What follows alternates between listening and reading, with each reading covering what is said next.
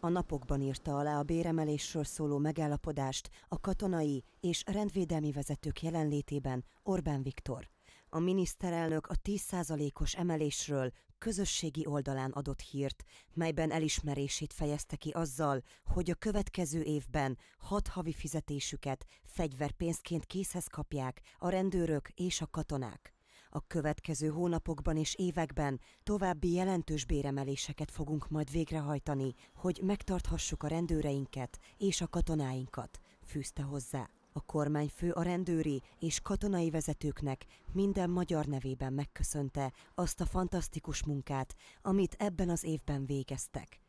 Az MTI azt írta, Orbán Viktor azt is kifejtette, hogy a rendőrök és a katonák nélkül az ország nem tudott volna védekezni a koronavírussal szemben. Kórházakba is bementek, egészségügyi feladatokat is vállaltak, de nélkülük nem tudtuk volna a migránsok tömegeit sem megállítani a határnál, mondta a miniszterelnök. Orbán Viktor közölte, több mint százezer illegális határátlépőt állítottak meg a rendőrök és a katonák Magyarország déli határainál.